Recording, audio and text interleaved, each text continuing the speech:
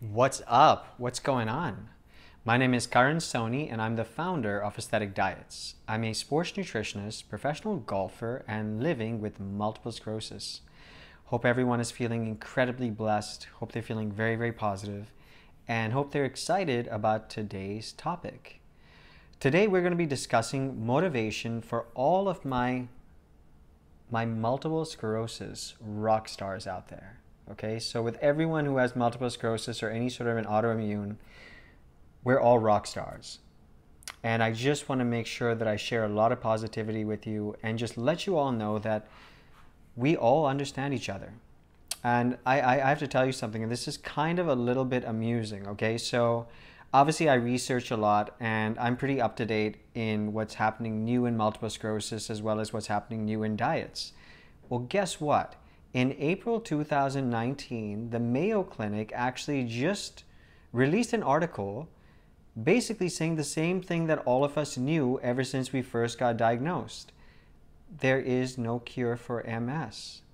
Why? Because they still have no idea what causes it.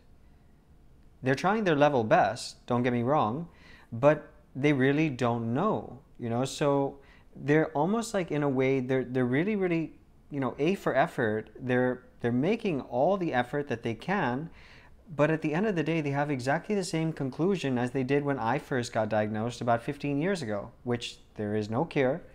They have no idea what causes it. They have a hypothesis.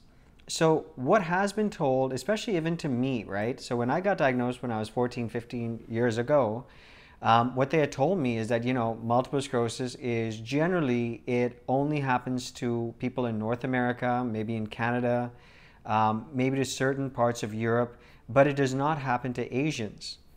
I'm Indian, so we know that that doesn't really make any sense. They also said that it predominantly only happens happens to women. Again, it doesn't make sense. I have a lot of my clients who are male and we have MS basically what I'm trying to go with you on this about, okay? So we all already know what our symptoms are, okay? So we get it. Um, we feel numb. We get a shooting electric sort of a pain in our neck any single time it like moves the wrong way. Um, sometimes, obviously, it feels as though we have pins and needles which are throbbing in certain parts of our body. Uh, we obviously have stiffness. Um, we sometimes we obviously tremble. Sometimes our vision gets a little bit blurry. Sometimes you have double vision.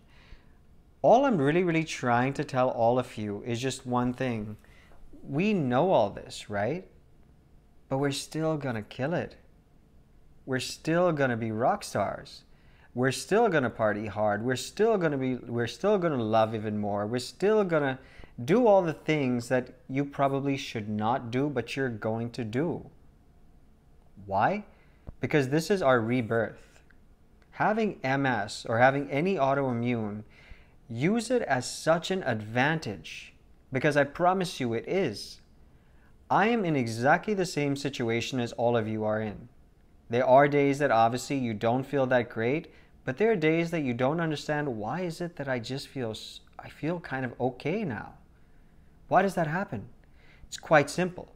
Because MS is really managing stress, the couple of things which I sort of identifying with, when I'm happier, I really don't have the opportunity to think about how I'm feeling that much.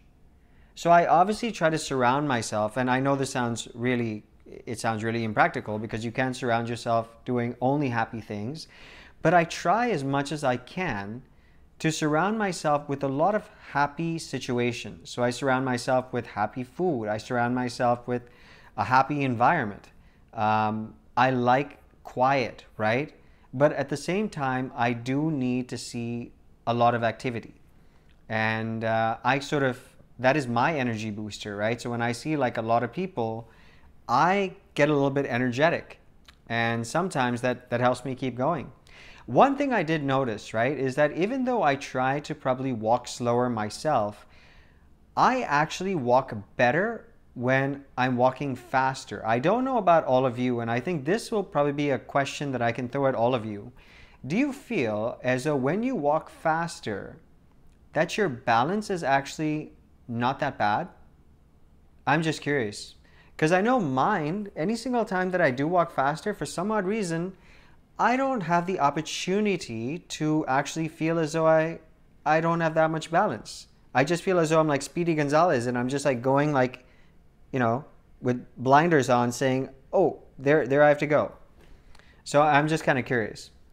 Anyway, um, like I told all of you, we are all rock stars, man. We're, we're great, okay? We're meant to do amazing things. You're doing amazing things.